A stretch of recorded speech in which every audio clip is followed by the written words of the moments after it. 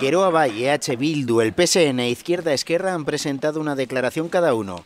Aprobados puntos en los que se rechaza la intervención policial o en solidaridad con los heridos. Con los votos favorables de todos menos de Geroa Bay que se ha abstenido y de Bildu que ha votado en contra, el Parlamento cree que el Gobierno no está legitimado para declarar de forma unilateral la independencia.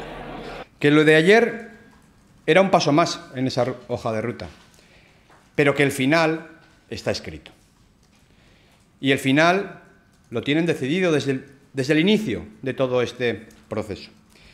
Y el final se resume en declarar la independencia el pueblo de Cataluña se ha ganado ese derecho a conformar un Estado, un Estado que eh, va a construirlo libre y democráticamente y que tendrá la forma de república. Estamos convencidos de que eso se va a producir. En las declaraciones institucionales también hay muchas críticas a la actuación de las fuerzas de seguridad y al gobierno de Mariano Rajoy. Incluso el Parlamento se muestra favorable a su dimisión. Este gobierno, corrupto y violento, tiene que ser desalojado del poder.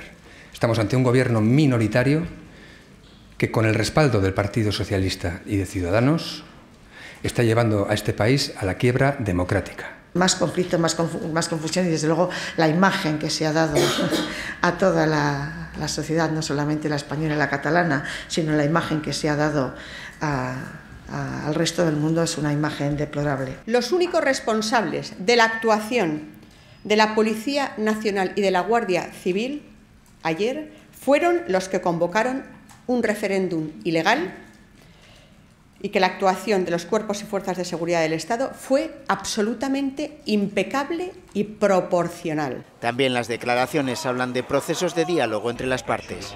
A un problema político real, la única respuesta que se le ha ocurrido al gobierno del Partido Popular es la respuesta policial respuesta policial en vez de diálogo. Y está por encima de todo la necesidad de convivencia en Cataluña y en España en general. Y eso debe estar por encima de cualquier posicionamiento político.